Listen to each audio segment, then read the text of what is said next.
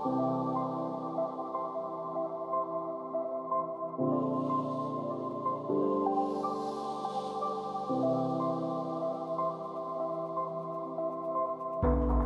so it is, it is a, a lot of hard work that goes into these projects. They don't see success. They stick to their guts and they keep continuing forward. Um, we don't want this to be something serious. It's just fun and it's just supposed to signal to the, the community that we appreciate their amazing work. So there's a few award categories uh, that we would like to highlight. The first one is the Trojan Unicorn Award. So this is basically a project that kind of broke through to the mainstream and did not lose its core values within the ecosystem. The next one is Ethereum Educators Award. So Ethereum education or education onboarding for Web3 is one of the biggest challenges and projects that are working on this are quite imperative to the success of the ecosystem as a whole and we'd like to encourage more projects to be uh, kind of involved in this ecosystem as well. And then the most important is the Cypherpunk Award. So um, there's a lot of issues and concerns around the, the core values of the Web3 ecosystem, and we want to keep sure that there's projects that are working on privacy, that are working on censorship resistance, and that they get highlighted in some manner, and that we keep encouraging people to kind of keep that core of Web3 close to their heart. And the last one is y'all really thought we wouldn't award. This is a project that was delayed and delayed and delayed, and this beat the expectations of not ever shipping.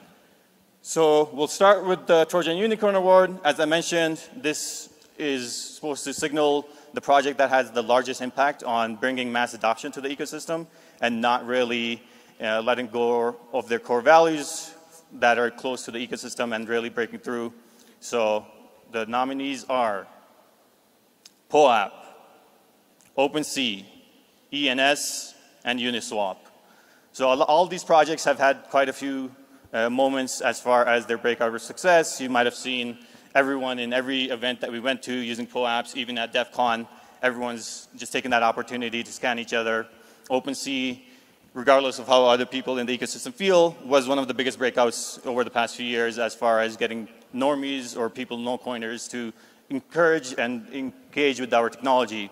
ENS, so coming from a very small team that was working on this core technology for X amount of years, six years, just sitting in a, Uh, a Gitter channel, then Keybase, etc., to see that every celebrity in the whole world was now having an ETH name attached to them was amazing. Uniswap, the amount of different ecosystems that kind of branched out from that organization and how many people were engaged with DeFi and trading was amazing to see. So please put your hand together for the winner, ENS. I'd love to welcome Nick and the ENS team to come up on stage and accept their award and tell us a little bit about ENS. Congratulations. Thank you so much. Thank you. This is amazing. It's uh, yeah, yeah. Thank you. Anyone, anyone from the team, uh, please come up and, and show them, show everyone. Um, Alex, what are you doing? Come up here. um, so it's, yeah, it's been five, six years since we started ENS. It started off as a part-time project in the Ethereum Foundation. It rapidly expanded to consume all my time. Uh, the EF made the very wise decision that we should graduate to our own project. Uh, it gave us very generous funding to get started, and even so, it's been a long road to get here. But if you saw my talk the other day, uh, we've had wild success in terms of uh, the, the, popularity and the adoption, and more importantly, the, the usability uh, improvements it's allowed, uh, to the point where I think everyone just assumes ENS is everywhere, which has always been our goal. Um, and so, yeah, I'm absolutely delighted to get this. Uh, I couldn't be happier. Thank you so much. Thank you very much. So the next category is education and developer onboarding. So as we start to scale our ecosystem, we need to make sure that people are, that are coming into the ecosystem understand what the technology is meant to do, what they should be aware of, and what they should be focusing on. And as we get into different ecosystems and come to Bogota, come to different regions, we understand that our understanding of Ethereum and the Web3 ecosystem is drastically different for people who could actually benefit from the technology. And there's a lot of work that needs to be done as far as language, as far as people understanding the core technology, people understanding what they should be doing, what they shouldn't be doing.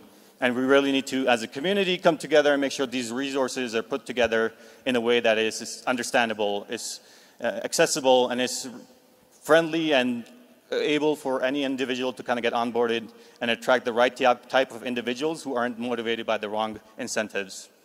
So the nominees for the Ethereum Educators Awards are Ethereum.org, Hardhat, Remix, and Speedrun Ethereum. So as mentioned, a lot of this work has been done around creating developer resources, making sure that onboarding and resources are available for people to get involved, make sure they're testing things, and then also make it playful and fun. And the winner for this category is Speedrun Ethereum. So Austin couldn't be here, but the Build Guild is here to accept the award as a core team, and they've done an amazing job making sure that getting onboarded to the developer ecosystem is fun, playful, and easy to understand. So thank you. Let Super. Um, yeah, I wish Austin was here. I know he would have done a better talk than what I'm going to be doing. Yeah. yeah. Uh, but it's been great to be part of the Build Guild and work with developer onboarding.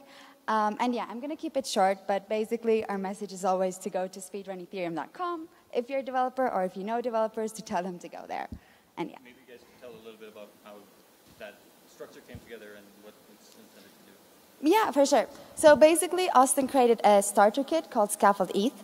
And this is basically a decentralized application starter kit where you have different components involved. And after you kind of get the basis of, okay, like how do I create a starter kit application on Ethereum, then you can go to speedrunethereum.com, which walks you through a set of challenges which are a bit more advanced. Like you go from building your staking application, multi-sig, and kind of like get the sense of how you create applications. And yeah, and then come and join Build Guild. so we're the Build Guild, which is the group on top of Speedrun Ethereum. All right, the next category is the Cypherpunk Award, and I think uh, as different individuals come into the ecosystem, the core values of people coming in and working on the technology changes time to time.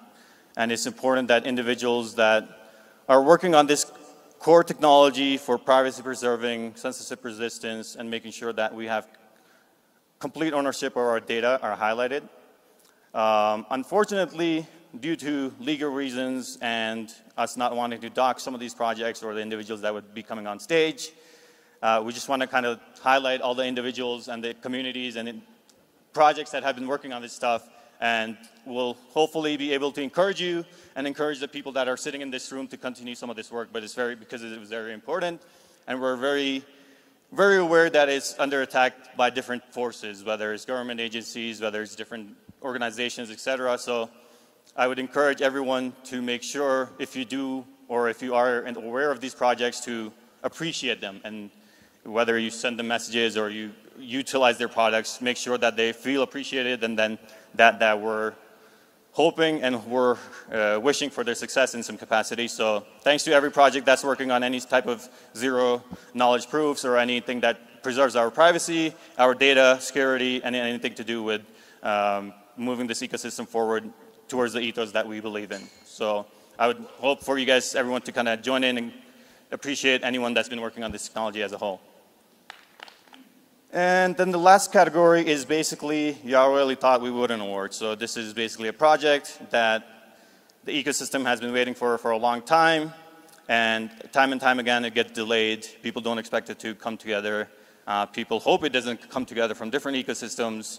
And the story goes on and on and on and on.